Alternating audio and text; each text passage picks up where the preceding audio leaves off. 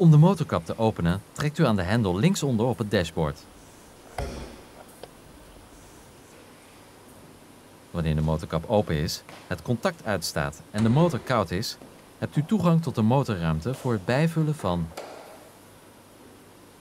koelvloeistof, ruitensproeiervloeistof, motorolie en remvloeistof.